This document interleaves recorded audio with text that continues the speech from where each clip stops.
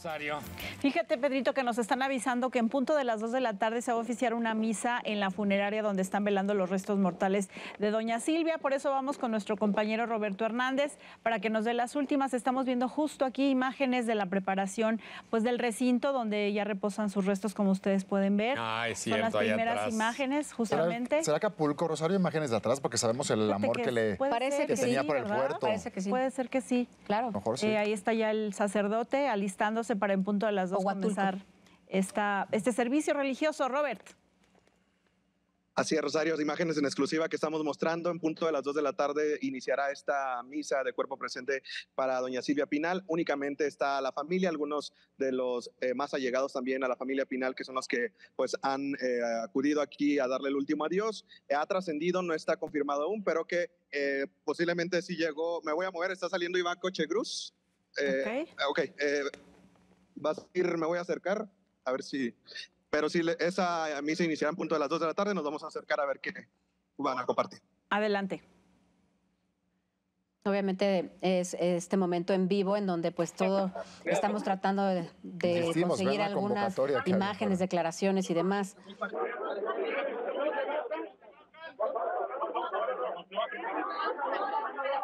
Es Iván Cochegruz, que al parecer va a dar alguna declaración. Ya se están metiendo porque Claro. No lo si hay mucha desorganización, somos muchos medios de Sí, comunicación. lo Pero qué bueno que se están claro. organizando.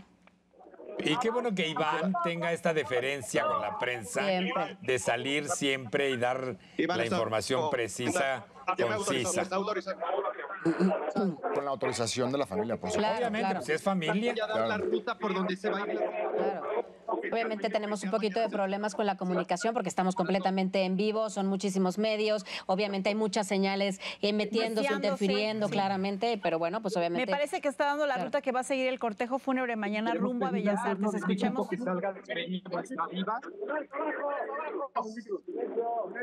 Queremos pedirle al pueblo de México que salga a despedir a nuestra diva. Les vamos a compartir la ruta por donde va a ir la señora al Palacio de Bellas Artes para que la gente salga, salga por favor y pueda despedir a nuestra diva como ella se lo merece. Y va a salir de la funeraria a las 10 de la mañana por eje 10 Ah, nueve y media, perdón. Va a salir de la funeraria a las nueve y media de la mañana y va a partir por eje 10 hasta Universidad. Posteriormente va a continuar por Avenida Universidad hasta el eje 8 Popocatépetl. Y de- va a tomar el eje central hasta que llegue a Bellas Artes. Esa es la ruta que va a seguir la señora. Les pedimos que si no la pueden compartir en sus programas para que puedan salir a despedir a nuestra diva si son tan amables. Lo que la gente diga. A partir de las 11 de la mañana comienza el homenaje en Bellas Artes. ¿Cuánto durará? hasta que sea supongo que le. Y después regresará para la, crema- para la cremación. Muy merecido el homenaje para Silvia. Que con mucho respeto salgan a las calles a despedir el paso que llevará la señora Silvia Pinal por todas las calles emblemáticas de nuestra ciudad para que la gente pueda despedirse, pueda saludar. de ella, por favor. Todavía no. Esta información es para la ruta del día de mañana, por favor. Ahí está la información. Ahí está, compañeros. Precisando, Robert. Así es, Iván, estamos en vivo para Ventanear. Sí, ah, difíciles. Confirmado entonces el homenaje a la Sí, 11 de la mañana. eh, por favor, le pedimos a la gente que salga. Por favor, eh, vamos a irnos por eje 10 hasta Universidad.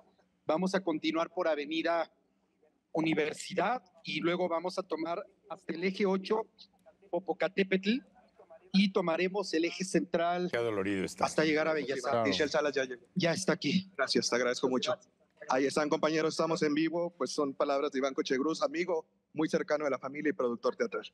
Qué bien, ¿no? Que comparta este, este detalle y qué bonito que inviten a la gente a que salgan de sus casas para que de alguna manera puedan decirle aplaudan, adiós, vean, ¿no? A este claro. cortejo fúnebre que pasará por estas avenidas tan importantes hasta llegar a Bellas Artes. En, a las 11 de la mañana iniciará el homenaje, que era lo que decían ahora mismo, hasta pues casi Hasta que la gente hasta aguante, morir, decía claro. Qué agotador para la familia. Sí, bueno. Pues Sí. sí, Pero, pues, es pero que es el no. momento de despedirla. Y de rendirle honores, tal Claro. cual, como la diva que es. Robert, nada más puntualizando que ya está Michelle Salas ahí, ¿verdad?